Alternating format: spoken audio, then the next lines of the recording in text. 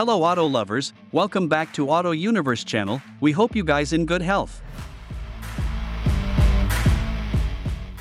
Today we gonna show you 2023 Nissan Qashqai walk around and review, and explain the details of the car, we hope you guys enjoy it.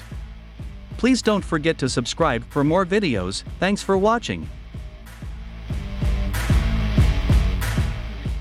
The Nissan Qashqai has been a big success for the Japanese brand globally, nearly 3.8 million have been produced since 2007, but the UK-built crossover was getting a bit long in the tooth in its later years. That's why Nissan Australia couldn't wait to bring in the all-new third-generation model, which due to a number of delays is launching down under more than a year after our friends in Europe and the UK first started seeing these in showrooms.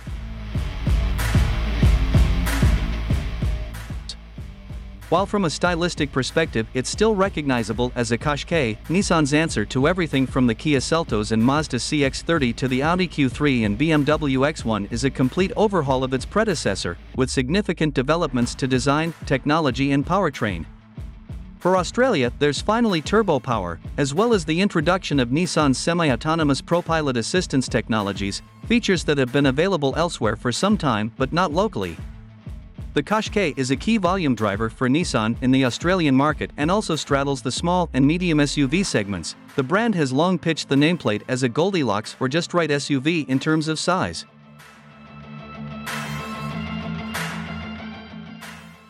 That's reflected in the sales numbers too. Last year Nissan sold 542 Qashqais, 244 of which were December registrations of the new generation model, given the old one had been out of production for some time. For reference, the 2021 calendar year saw 5,750 units registered down under, and that's a shadow of the nameplate's success last decade, where for some time it was one of the segment leaders. Nissan Australia says it's received strong interest in the new Qashqai, including the upcoming e-Power hybrid version coming sometime later this year, and when the media launch drive took place in mid-December, the brand had already locked in over 1,500 orders. Mind you, pricing and specifications have been public since July. Prices are up across the board for the new generation Qashqai, with increases of between $3,300 and $8,300 depending on variant, though this is offset by the various developments and healthier spec levels.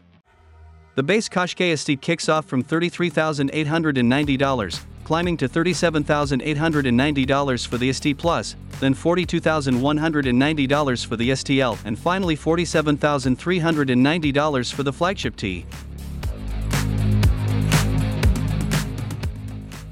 Note all prices exclude on-road costs. While the markups aren't unsubstantial, particularly for the higher grades, the Qashqai's positioning is more or less in line with the rest of the VF small SUV segment, and dabbles with entry versions of premium badged alternatives in top spec T specification. Even though it's at the higher end of the segment, the Qashqai is to the X-Trail what the Skoda Karoq and VW Tiguan are to the Kodiaq and Tiguan Allspace, big small or small medium, with more space and premium touches than the bulk of rivals. Keep in mind there's an e-Power hybrid coming later in 2023, which at this stage will be restricted to STL and T grades.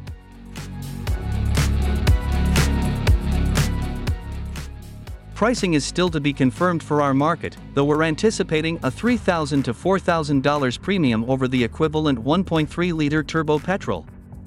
For reference, we only sampled the STL and T grades at launch, which are representative of the supplied images from the press kit, too.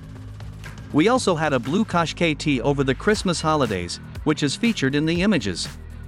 With this new generation, Nissan has lifted the Qashqai from one of the also-rans in the segment in terms of cabin execution towards the top of the class, particularly as far as the STL and T are concerned.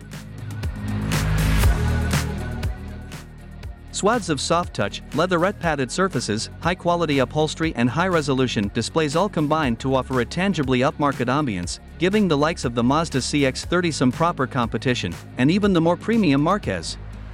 ST Plus and Up score a huge 12.3-inch touchscreen infotainment system featuring wireless Apple CarPlay and wired Android Auto, as well as embedded satellite navigation with live traffic updates, AM/FM/DAB Plus digital radio, 6-speaker audio, as well as USB-A and USB-C connectivity up front.